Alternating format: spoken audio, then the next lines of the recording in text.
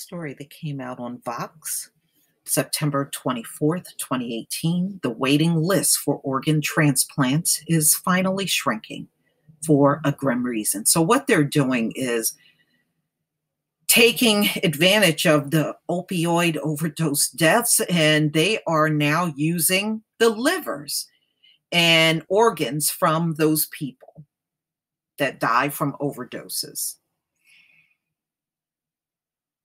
So, is it a bad idea? Well, I guess if you're on an organ waiting list, it probably is not a bad idea for those folks. I don't know. I, I don't know if I want the organs of a junkie, but look, I guess they're grabbing whatever they can. And I did stories on this last year talking about how they are starting to use the organs of all of these folks that are dying from drug overdoses. So um, the number of opioid overdose deaths nationwide has doubled since 2008. The number of those victims who have become organ donors has quadrupled, partially as a result of the newly available organs from overdose deaths. The list of people waiting for transplants, nearly 124,000 at its peak in 2014, has begun to shrink for the first time after 25 years of continuous growth. So, I mean, I guess I understand if you got a healthy organ, I guess they're going to just take advantage of those that now die from drug overdoses. So you can see um, 2014, it really wasn't that many people. 2015, 2016, and you can see a lot of red now where um, organ transplant, you know, are now being shared from victims of drug overdose.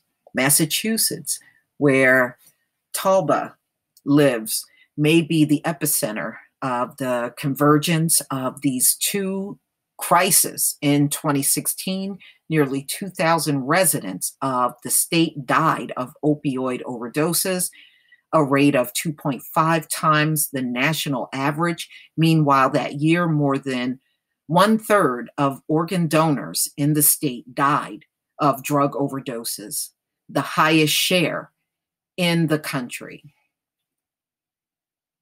that the overdose epidemic would have a silver lining was not a foregone conclusion.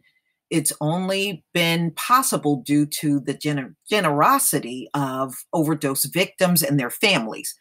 Clinicians have also had to adopt new practices to make it possible. And patients who receive such transplants have had to accept additional risk and are often left, like Talba, grappling and challenging emotions about the toll that made their survival possible. How the opioid uh, plague and organ donation became connected. The uncomfortable nexus between opioid overdose uh, plague and the organ donation evolved because it's relatively rare for someone to die under conditions that allow for organ donations. But opioid overdoses often meet those conditions. And you know what? It's so many of them dying. I guess they could take care of the backlog because they are dying. And you know, they're lowballing all the numbers that they're giving us for organs from the dead to be eligible for donation, the donor typically will have suffered brain injuries so catastrophic that they will never revive, yet will have arrived at hospital in time to put on a ventilator so they can be put on a ventilator even if they're you know close to death and that continues the circulation of blood to their organs. In the US, these circumstances occur in fewer than 1% of deaths. That leading cause of stroke, blunt injuries, including car accidents and cardiovascular incidents, now fatal opioid overdoses, which can slow respiration to the point that the brain is starved of oxygen, are a growing part of that list. According to preliminary data, 49,031 Americans died of opioid overdoses in 2017, and opioids made up two thirds of total drug overdose deaths in the United States. Drug overdose in America, and it shows you the figures, and of course it's going up. I mean, wow it's just giving you a breakdown on the chart of all drugs 72,287 overall. And fentanyl, of course, leading at 29,418, heroin, 15,950, and opioids. 14,951. And remember, the CDC only reports on 22 states only. So, you know, it really is not a bad idea you know, it's better than organ harvesting. So if they can just get organs from all of these people that have died, you know, from opioid overdose, then it cuts down on killing people and removing their organs. All right, so in most cases, by the time emergency responders arrive, the victim is already dead and their organs have lost viability for transplant, but several thousand make it to hospitals and ventilators before being pronounced dead. The victims are often young, nearly three quarters of inpatient opioid deaths were ages 25 to 54.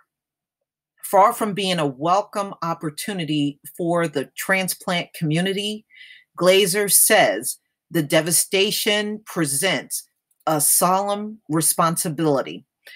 Although it is a silver lining in terms of its impact on organ availability, or at least it is in a region, it is not something we hope continues.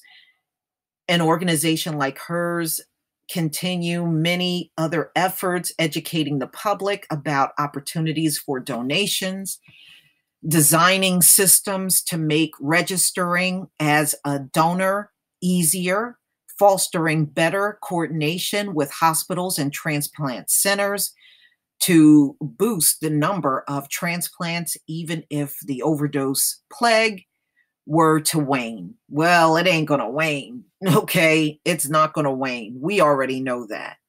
This thing has gone on, what they're now saying 40 years of nonstop drug overdoses in America.